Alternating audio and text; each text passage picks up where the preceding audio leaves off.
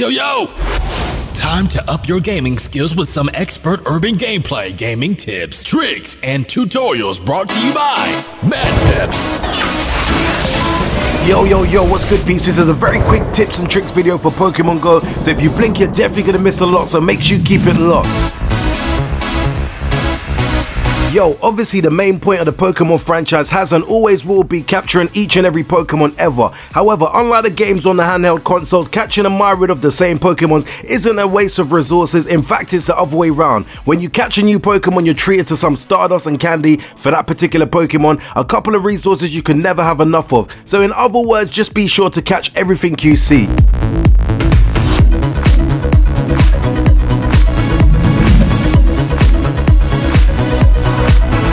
Yo, I guess for some people, the novelty of seeing Pokemons in the real world is fun and all, but if you're out and about, the last thing you want to be doing is spinning in a circle trying to find a floating Zubat. By simply turning the AR off, it grounds Pokemons in the same position the entire time and makes your life a lot more easier when you're in a rush. This may just be a personal preference, but I personally do prefer playing Pokemon Go with the AR switched off because it does make life a lot more easier as I mentioned before, and it definitely is a better experience for me personally.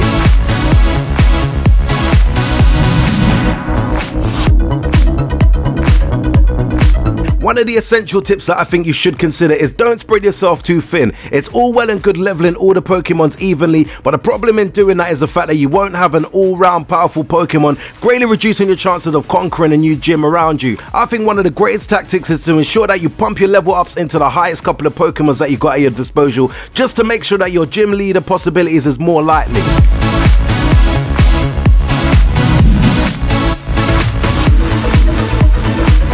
It goes without saying that saving battery is essential for a number of reasons. There has been numerous amount of reports online stating just how much power that Pokemon Go has been consuming on devices, regardless of how up to date they are. Battery saving mode allows you to keep your phone on, giving you the chance to catch nearby Pokemon, but it helps save some of the power on your phone along the way. So obviously if you need to make a call or so, you're not draining your battery just playing Pokemon Go.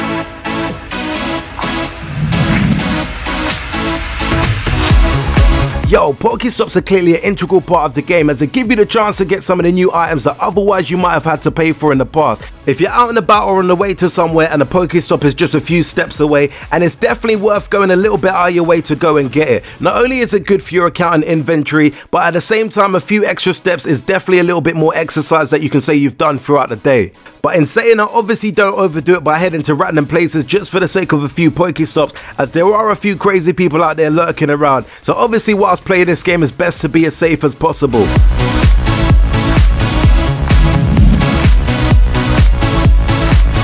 Okay, this might contradict the last tip with the exercise element, but I would say playing Pokemon Go whilst a friend or family member is driving might help unlock a few things. At times, you're bound to get a lift somewhere, either by bus or by car, with someone else driving. Be sure to keep Pokemon Go app open at all times when this is happening. You would be surprised at just how many Pokemons you can discover whilst you're in a car, and your eggs will definitely get closer and closer in order to hatch, and you might get obviously some rare Pokemons through hatching your eggs. Some have reported that not every time whilst you're in a moving vehicle, your kilometers increase. So I guess walking still is the preferred method for most.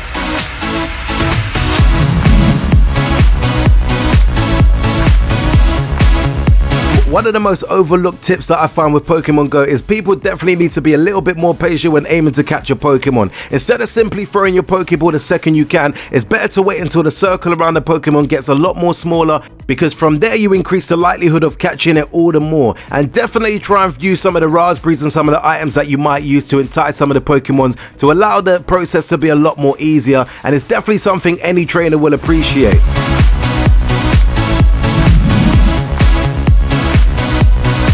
Yo, I know most people probably already know this, but I'm definitely still going to address it. After first discovering that you can throw a curveball by circling your finger on the screen until it starts to spin, it doesn't only feel incredibly satisfying when you pull it off, but at the same time, it also gets extra bonus XPs for pulling it off at the same time. So when Drowzee pops up on your screen for the 14th time in a row, try giving a curveball a go because you definitely rack up more XP points as you do the process.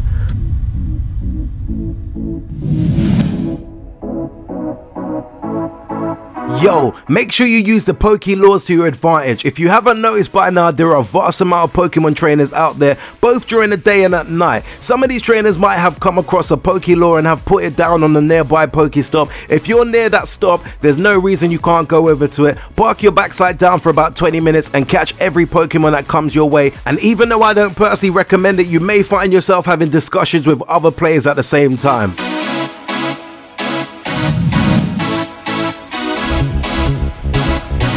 Yo, the last tip that I'm going to mention when playing Pokemon Go is you don't necessarily have to move.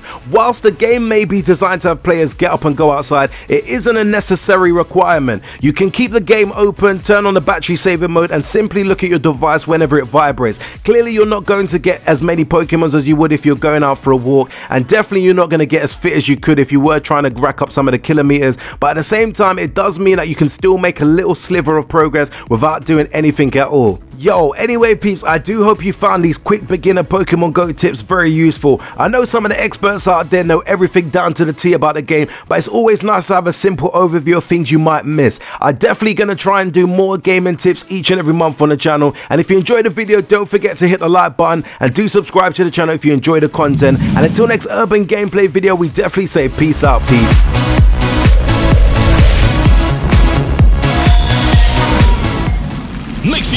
Like and subscribe button for more cool urban gameplay videos.